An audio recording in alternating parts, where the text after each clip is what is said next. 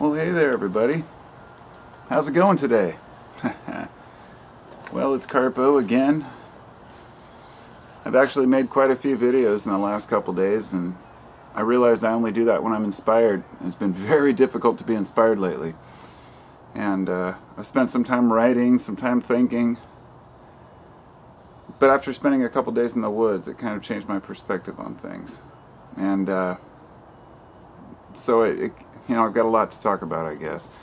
I see that my um, my orchids are sitting over here in the direct sunlight, and I thought I better move them out of direct sunlight. And I'm going to put them down here to protect them. I know this is no time for doing plants. It's a video time. But uh, I guess that goes along with uh, the video I made the other day about plants. I actually brought home a few of these orchids. And you can bring them back. I have an orchid mix and some of the original soil from the woods. but anyhow, that's not really what I'm here to talk about. Or is it? Uh, you know, I, I, I look at a lot of metaphors in nature. For example, you know, that small flower when I found it, it's just a single leaf with a very small stem, very delicate orchid on it. And when I found, first found it, I thought, wow, this is rare. I've never seen one of these before. Then I continued looking and I started seeing more. And by the time I had collected a few, there were dozens of them around the area. Now, it doesn't mean that they're everywhere else in the woods. But what it does mean is I could have tromped through that, those woods, and if I'd been looking for a mushroom, let's say, I would have missed the flower if I'd been looking for that flower, I may have missed the mushroom. And this is something I've thought about a lot. When I'm out in the woods hiking around, I'm always looking for natural products or new plants, new things to identify. I'm fascinated with the fungal kingdom. You know, fungi are just amazing to me. And uh, the funny thing is that if you're, for example, out looking for morel mushrooms, you might walk right past some wild ginger or perhaps some other uh, you know useful medicinal plant or a, even a valuable plant but you're looking for mushrooms and your mind is set on looking for those specific mushrooms you might even pass by a bunch of a different kind of mushroom because you are so set on it this applies to everything I've ever looked for in the woods. If I'm looking for raspberries or, or strawberries, then I'll, i might miss the some of the inner foliage. If you're looking for berries, you're going to miss the greens. If you're looking for mushrooms, you're going to miss the berries, those kinds of things. And the reason I, I mention that is because I feel like this can be really a metaphor for our lives as a whole. That if you've got your mindset on one thing, that is what you're going to see. It's nothing new. I learned this when I was a roofer about say 20 years ago when I one of my first construction jobs as a roofer and I remember going around town with my friends after uh, at lunchtime and, and we were pointing out all the roofs. And I remember saying you know it's funny as a roofer we see all these roofs.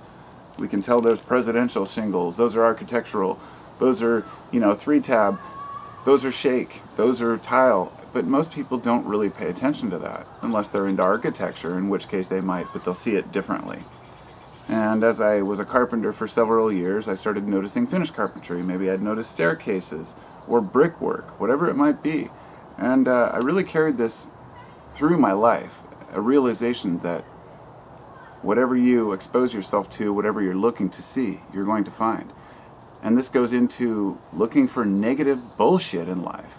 If you're constantly focused on what's wrong with the world, then you're going to see what's wrong with the world. And that's all you're going to see your mind isn't going to be programmed or set up to accept positive outlook on things. Now, I think this is crucial because, like I've said before, I've been stuck in a negative mindset at times in my life, especially when things aren't going well. And when I'm having a hard time, maybe when I'm financially strapped, which has ha happened plenty of times, or perhaps I have a physical ailment, which has also happened. I had severe sciatica for a long time, which really screwed me up, you know.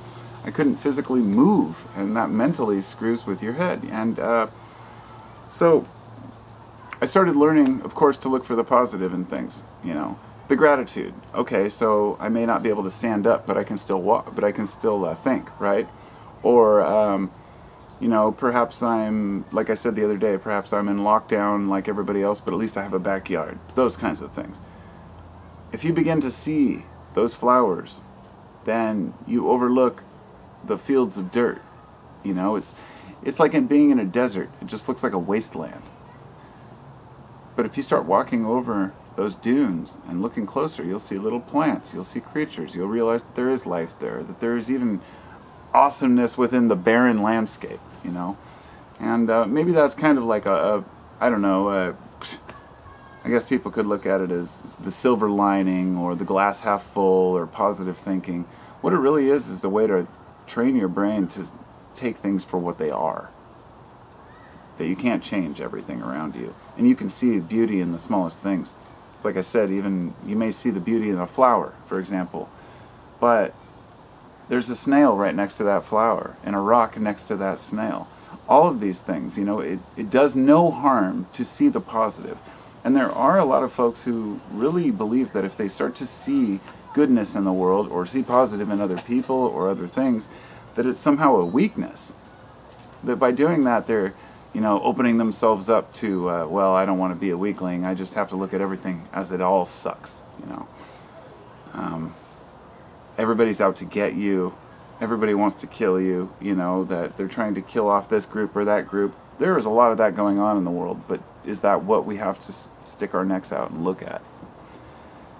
The media does not make it easy, okay? the media makes it nearly impossible. You know, sometimes, more often than not, if I have an opinion politically or otherwise, there's always somebody who will say, oh, you watch too much TV or too much media. And the truth is, I don't. I don't watch the news.